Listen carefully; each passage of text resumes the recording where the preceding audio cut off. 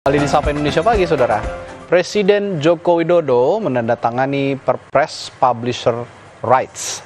Perpres ini diharapkan dapat mendukung jurnalisme berkualitas sekaligus memastikan keberlanjutan industri media nasional. Hal ini disampaikan Presiden Jokowi saat menghadiri puncak Hari Pers Nasional di Jakarta pada Selasa sore. Menurut Jokowi, setelah melalui proses panjang dan perbedaan pendapat, akhirnya semua pihak yang terlibat menemukan titik kesepahaman. Peraturan Presiden ini pun telah ditandatangani Jokowi dan Jokowi pun menegaskan perpres ini bukan untuk mengurangi kebebasan pers, melainkan untuk mengatur hubungan bisnis antara perusahaan pers dan platform digital serta meningkatkan jurnalisme berkualitas.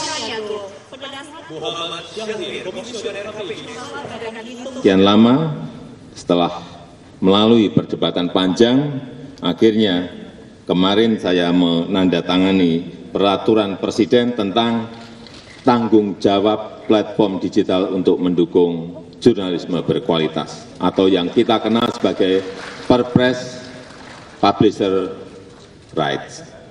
Ada perbedaan aspirasi antara media konvensional dengan platform digital. Platform digital besar juga beda aspirasi dan kita harus timbang-timbang terus implikasinya dan setelah mulai ada titik kesepahaman, mulai ada titik temu, ditambah lagi dengan Dewan Pers yang mendesak terus,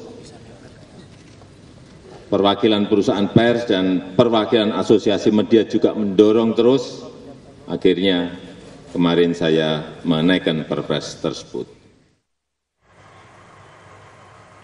Peraturan Presiden Republik Indonesia nomor 32 tahun 2024 ini memuat tentang tanggung jawab perusahaan platform digital untuk mendukung jurnalisme berkualitas. Di antaranya pada pasal 2 disebutkan peraturan Presiden ini bertujuan mengatur tanggung jawab perusahaan platform digital untuk mendukung jurnalisme berkualitas agar berita yang merupakan karya jurnalistik dihormati dan dihargai kepemilikannya secara adil dan transparan.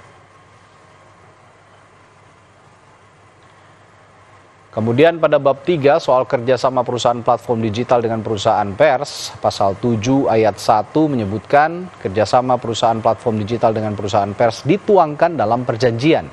Kemudian kerjasama yang dimaksud pada ayat 1 berupa lisensi berbayar bagi hasil berbagi data agregat pengguna berita dan atau bentuk lain yang disepakati.